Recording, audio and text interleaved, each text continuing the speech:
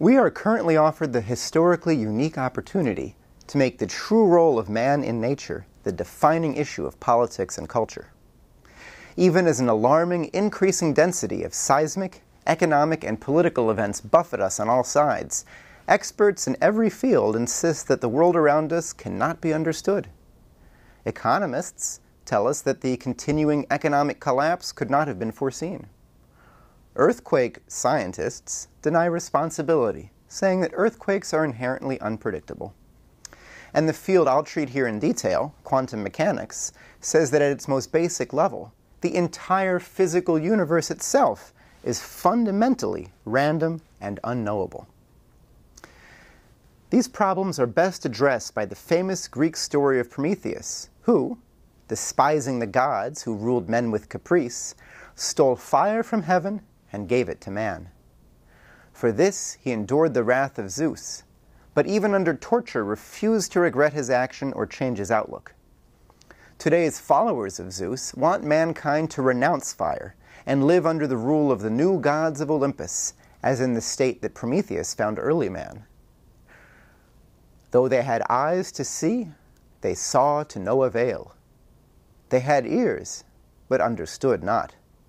But like shapes in dreams, throughout their length of days, without purpose, they wrought all things in confusion. Here we will explore quantum mechanics, one of the newest and most advanced fields of scientific inquiry. I think you'll be shocked at how explicitly anti Promethean this field is, and how much it resembles the outlook of those who wish to prevent our understanding of earthquakes. In contrast, I'll present the germ of a fertile scientific outlook.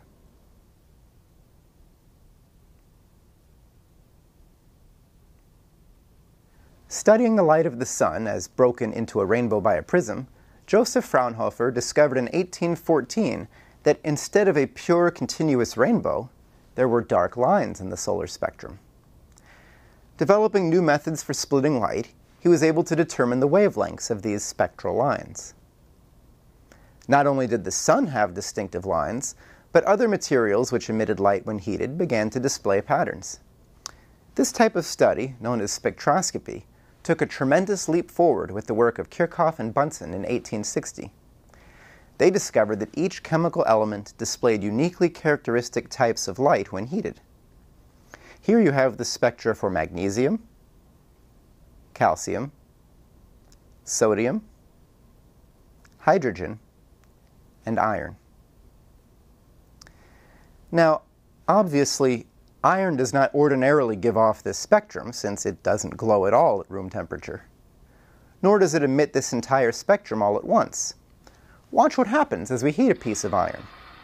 It begins to glow red, then orange, yellow, and white. When we look at the spectrum, we find that the different colors come in from red to violet, and that their intensities have an order to them. Here you have the intensity curves of the different types of light emitted by iron at different temperatures. The particular emission spectrum is unique to iron, but the overall shape of the curves was found to be nearly the same for all materials. Observations were made, and such charts were constructed for many substances. While the particular colors making up the spectrum differed, the chart of intensity was nearly the same for all materials tested no one could figure out why the temperature curves had the shape they did. In 1900, Max Planck formulated the principle behind this radiation. His explanation required something he had not expected, however. It seemed that light or heat energy at a specific wavelength could only come or change in discontinuous discrete quantities, which have come to be known as quanta. That is to say, the possible energy at a certain wavelength increased and decreased discontinuously by jumps. The energy of a single jump, or quantum, depends on the wavelength. As an example, one unit of energy of violet light is twice that of red light. Einstein used this theory to make sense of the photoelectric effect. This is the principle made use of in solar calculators you never have to find a battery for, or if you are an idiot, for rooftop solar panels to prevent firefighters from helping you.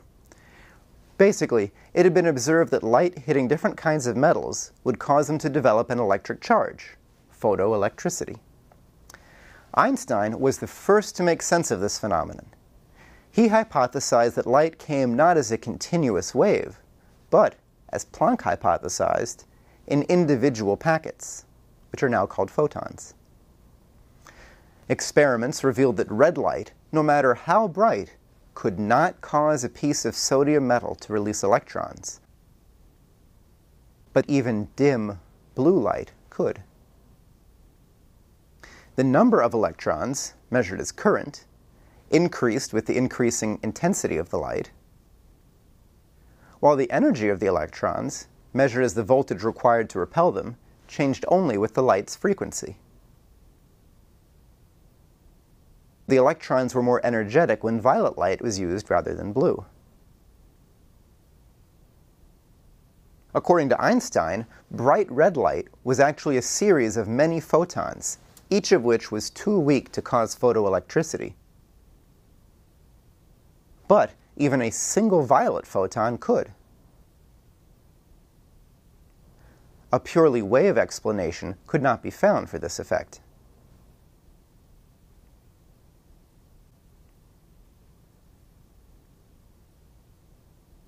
This is very interesting, but it also presents a huge paradox. While such undeservedly famous pranksters as the author of the most preposterous laws of motion ever developed, Rene Descartes, and the black magic practitioner Isaac Newton, while these two treated light as made of particles or corpuscles, centuries of experimental evidence had rejected this theory of light in favor of the wave theory developed by Huygens, Young, and Fresnel. So we have what has come to be known as the perhaps not so aptly named wave particle paradox. Optical experiments showed light to act as a wave, but the photoelectric effect requires light to come in discrete units. So light acts both as a particle and like a wave. I'll give a few examples of this. First, we'll take interference. A simple example of interference can be seen with waves in water. As you can see here, the waves pass right through each other, continuing on their way. At the locations of intersection, the height of the water includes the contribution of both of the waves added together. Now let's align two wave sources and synchronize them by creating a barrier in the water with two slits in it. As you can see, each small slit acts as though it were the source of a new wave of water. The interference of the waves is clearly seen. Note that there are some bands along which the water barely moves at all. The two waves acting together are said to destructively interfere at these locations, as though no wave were present at all. Now let's take a look at light. Here we have an experiment where a source of light passes through two slits, becoming two sources of light. The appearance of the light, as you can see, is completely analogous to the water waves. There are alternating areas of light and dark, just as we saw with the alternating bands of greater and less water motion in the water tank. Now we'll add in the quantized nature of light, as found by Planck and Einstein. Instead of having continuous waves of light, let's have two sources of particles.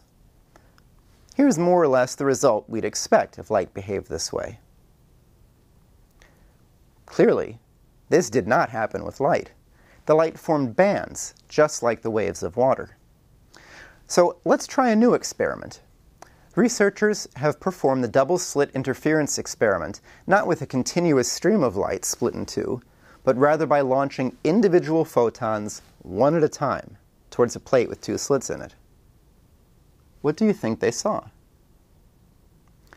At first, the photons come through willy-nilly but as we count more and more, bands begin to appear and then become quite clear. Even though only one photon is in the apparatus at a time, we still get the exact same pattern as with a stream of light or a wave of water passing through two slits. It almost seems as though each photon went through both slits, interfered with itself, and then made a single spot on the detector. This is really shocking. How could light both be a particle, as regards the photoelectric effect, and yet, when launched individually, behave as a wave in this experiment. Let's take another example. This one's given by Einstein. We take two pieces of metal. The first is struck by an electron, which then emits an X-ray, which strikes the second plate, which then emits an electron with energy equal to the first. Now, if the X-ray was a wave, which it was shown to be by a student of Planck, then how did the wave collapse into that one point at the plate from which the electron was emitted? Einstein asked, how did the rest of the X-ray wave know to disappear?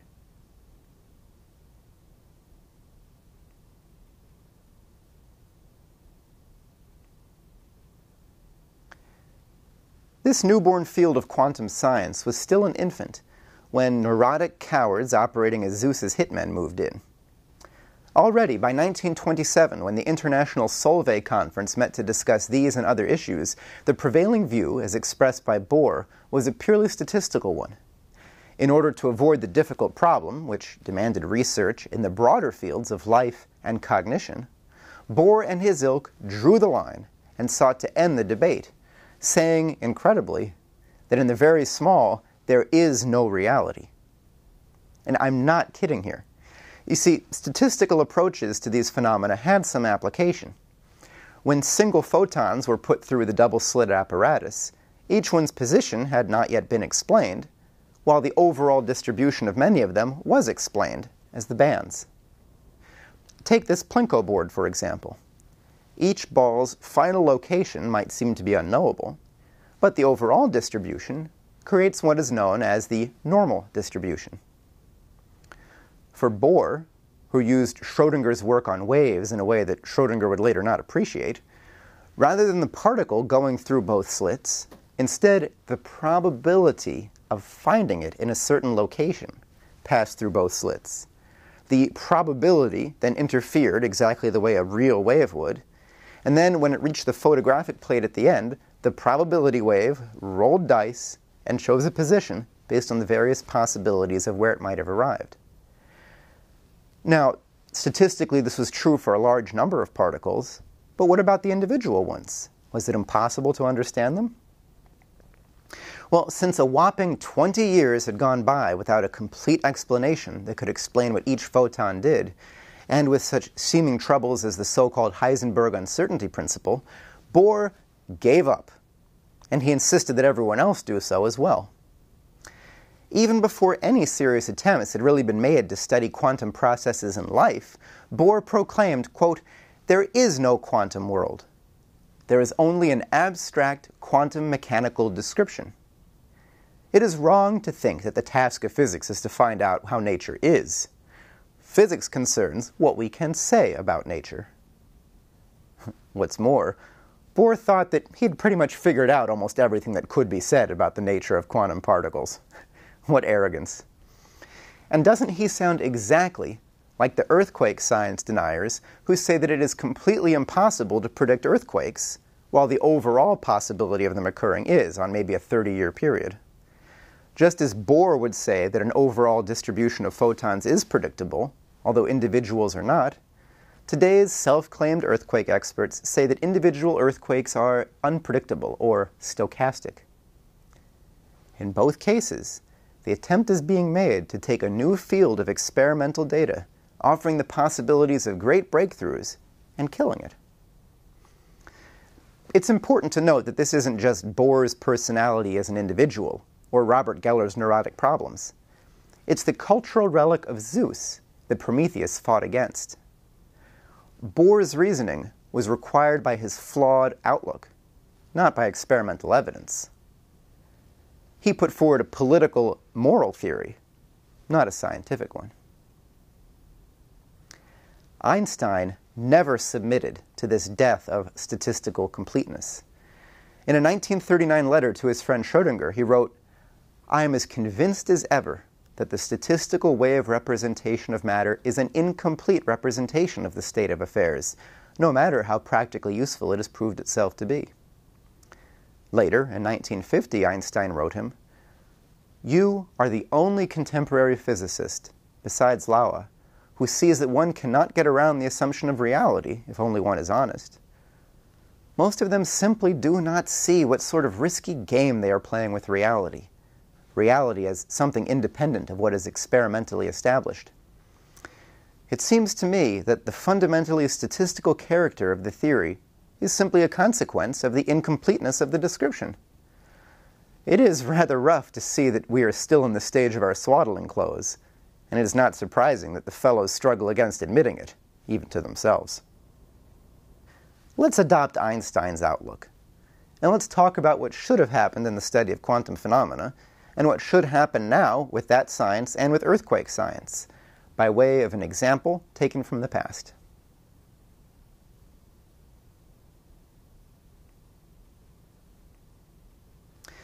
Johannes Kepler was presented with a problem as difficult in his day as quantum phenomena are in ours the motion of the planets.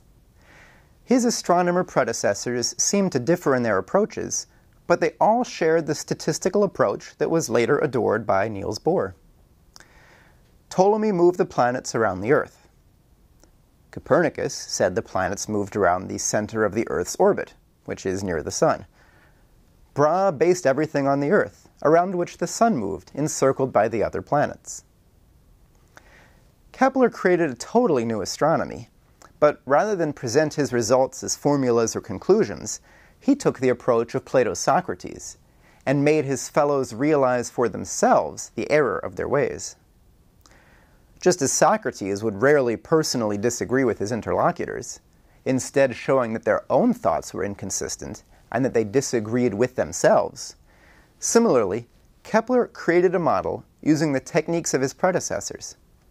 He did so with the most extreme precision the best possible data, new forms of error correction, using the actual sun at the center, years of calculation to get the best possible parameters, and he did it all while keeping the statistical mathematical approach of his predecessors.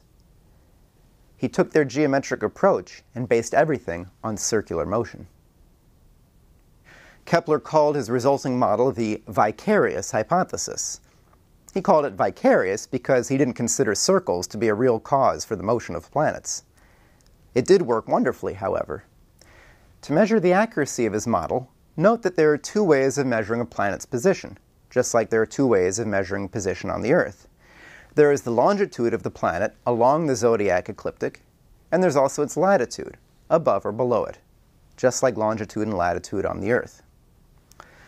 Kepler's vicarious hypothesis model gave the longitude exactly within the limits of observation of his day. But the distances of the planets did not agree with the observed latitudes. Correcting for the latitude based measurements, the longitudes were then off by up to 8 minutes, which is 0.13 degrees, a tiny amount, comparable to holding a pencil lead at arm's length. But these eight minutes were enough. The best possible statistical model had failed to work. And since the data were of the highest possible quality, this meant that statistics itself had failed. The planets could not be understood by modeling their perceived positions. Abandoning statistics and mathematics altogether, Kepler became the first physical astronomer detailing how the power of the sun caused the motions in the orbits of the planets.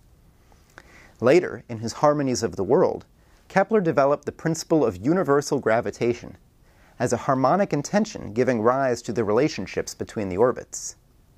This principle of gravitation is not a point to point force, it is a principle of ordered development. Bohr's approach repudiates the breakthroughs that Kepler made for science and sets the scientific method back centuries.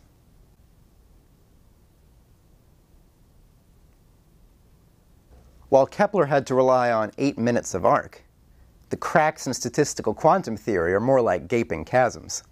I'll give two examples, and then we'll return to earthquake science and cosmic radiation. The first of these examples is seen in the work of the Russian researcher Simon Schnoll. His investigations counter the quantum mechanics explanation of nuclear decay, according to which decay occurs when the randomly fluctuating energy of a nucleus reaches a great enough level and the nucleotide decays. By the quantum mechanics interpretation, the overall decay rate is knowable, but individual decay events are completely random because they're driven by a random process. Now here's again our example of balls falling down the pegboard. If we release many balls, we do get a nice distribution curve, matching the normal distribution curve. But what if we only use a few balls?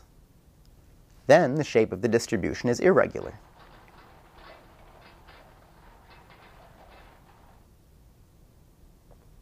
Simon Schnoll created such shapes by counting the decay of radioactive nuclides. They had an overall decay rate that was regular, but they had a different texture of decay from one moment to the next. To get this texture, he would count the number of decays per minute for an hour. And then he'd make a table. Then he'd look at how many of the minutes had a certain number of decay events.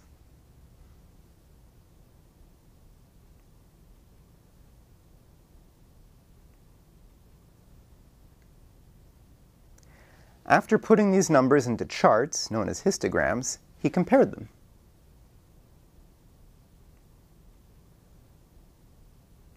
He noted similarities for hours that followed each other, but also for histograms that were exactly 24 hours apart. He also found that two histograms exactly one month apart or one year apart were much more likely to be similar than those separated by, say, 50 days. Thus, Schnoll demonstrated that radioactive decay, which is supposedly statistically random at its base according to quantum mechanics, has periodicities in its fine structure. While Kepler only had eight minutes of arc to prove the failure of completeness through statistics, look at the clear evidence that Schnoll has afforded us. There must be a cause for these periods. If the decay were truly random, we wouldn't find any patterns at all.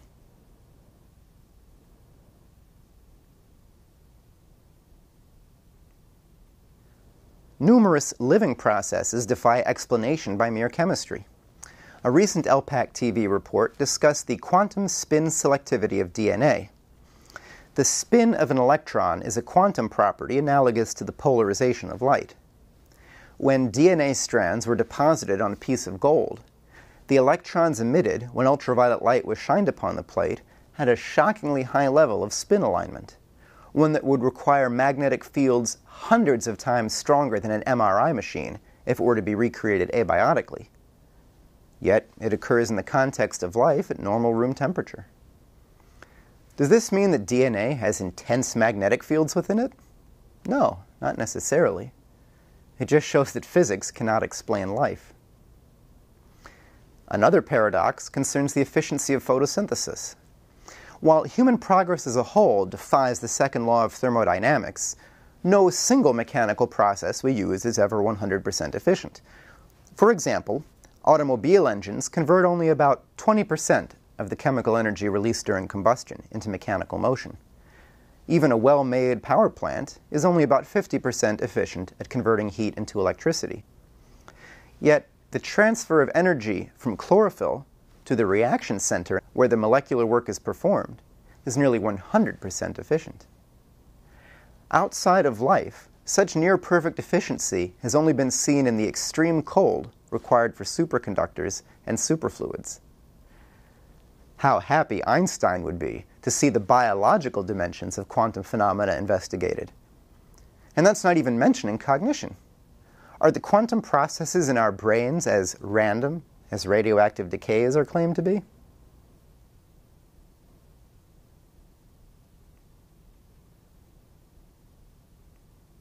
In both quantum mechanics and earthquake science, we see the devotees of Zeus attacking the very nature of human beings. In both cases, a new field of study is prescribed looking at isolated phenomena, rock motions alone in one case, and abiotic particles in the other. And in both cases, the reigning priests explicitly say that the phenomena they are discussing and supposedly studying are fundamentally unknowable anyway.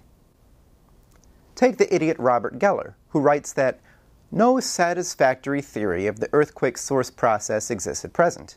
Further work should be encouraged, but it will probably lead to a better understanding of why prediction is effectively impossible, rather than to effective methods for prediction. Such fools aren't scientists, they're political operatives. As we have shown in numerous videos here at LaRouche PAC, earthquake prediction is already a very real science, and it could make great strides were it pursued in earnest with the support of governments. Overall, we have to invert the sciences to start from universal creativity, as seen in man, from which we can then approach life, and finally, chemistry. This will put quantum phenomena in the right context, and preventing more people from wasting their lives trying to arrive at the complete theory of everything without even looking at life or humanity. Pursued creatively, real breakthroughs on the quantum level could prove invaluable for broadening our understanding of cosmic radiation and earthquakes. Likewise, earthquakes must be understood not as an, a rock shaking event, but as part of an entire Earth process with cosmic radiation influences. Fundamentally, these aren't scientific questions, they are political ones. With the pride of Prometheus and contempt and scorn for Zeus, we can pursue the happiness of increasingly exerting our mastery of the forces around us as we continue the process of developing that expanding portion of the universe accessible to us for the better.